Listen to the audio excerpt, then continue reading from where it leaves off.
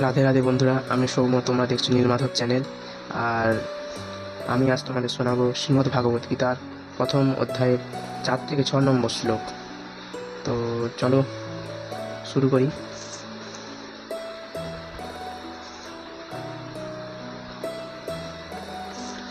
পত্রসুরা মহেশ্বাসা ভীমার্জুন সমাজুদি যুদ্ধান বিরাটশ্চ, দ্রৌপদশ্চ মহারথ। কেতু চেকিতান কাশীরাজশ্চ বীর্যবান, পুরজিৎ কুন্তিভোজশ্চ শৈবাশ্চ নরপুঙ্গব, যুধা যুধা মনুশ্চ বিক্রান্ত, উত্তমৌজাশ্চ বীর্যবান, সৌভদ্র দ্রৌপদ দ্রৌপদেয়াশ্চ সর্ব এব মহারথাহ। সেই সমস্ত সেনাদের মধ্যে অনেক ভীম ও অর্জুনের মতো বীর ধনুর্ধারী রয়েছেন এবং যুযুধান, বিরাট ও দ্রৌপদের মতো মহাযোদ্ধাও রয়েছে সেখানে ধৃষ্টকেতু চেকিতান কাশীরাজ, পুরজিৎ, কুন্তিভোজ ও শৈবের মতো অত্যন্ত বলবান যোদ্ধারাও রয়েছেন।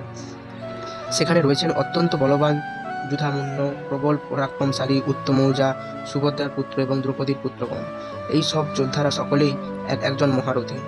যদিও দ্রোণাচার্যের অসীম শৌর্য, বীর্য ও সামরিক কলা কৌশলের কাছে ধৃষ্টদুম্ন ছিলেন এক অতি নগণ্য প্রতিবন্ধক এবং তার ভয়ে ভীত হওয়ার কোনো কারণ ছিল না। দ্রোণাচা- দ্রোণাচার্যের পক্ষে কিন্তু ধৃষ্টদুম্ন ছাড়াও পাণ্ডব পক্ষে অন্য অনেক রথী মহারথীও ছিলেন, যারা সত্যি সত্যি ভয়ের কারণ হয়ে দাঁড়িয়ে রয়েছিলেন।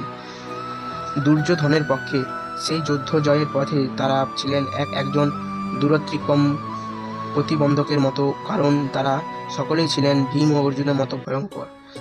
তাদের বীরত্বের কথা দুর্যোধন ভালোভাবে জানতেন, তাই তিনি অন্যান্য রথী মহারথীদের ভীম ও অর্জুনের সঙ্গে তুলনা করেছেন।